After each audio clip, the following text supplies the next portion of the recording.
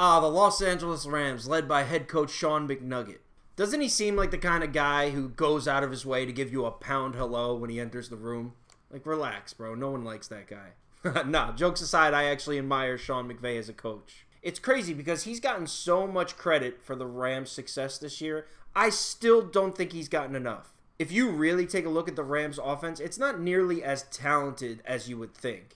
Todd Gurley's obviously tremendously talented, but Brandin Cooks, Robert Woods, Josh Reynolds, and Tyler Higbee? I mean, this isn't exactly receiving corps that jumps off the page at you. Who the hell is Tyler Higbee? Jared Goff's a good quarterback, but I mean, I wouldn't put him on the elite level or, or in the top five discussions. I'm sure some would, but I wouldn't. Most of the credit belongs to Todd McVay.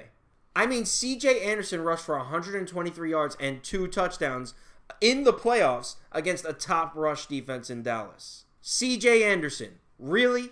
I look better shirtless than CJ Anderson. I mean, he's actually obese. Sean McVay is just some sort of warlock or an evil sorcerer.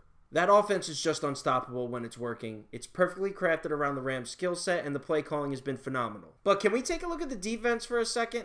Everything I just said about Sean McVay and the Rams' offense, say the exact opposite for Wade Phillips and the defense.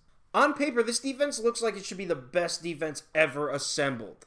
It looks like a defense I'd put together in my Madden franchise when I turn auto trades on with all the computer teams. But they've kind of underperformed this season. Other teams have not struggled to put up points against the Rams. They're 20th in the league in points against. With that stacked roster, that's kind of disappointing. But I did see a cool stat about the Rams defense that I'd like to share with you. Here are the passing stats this season against the Rams when both Aqib Talib and Marcus Peters are both on the field. Now let's take a look at those numbers when either one of Aqib Talib or Marcus Peters is off the field. I saw that on ESPN. I thought that was pretty interesting. Seems like having these two cornerbacks healthy and on the field is crucial to the Rams defense.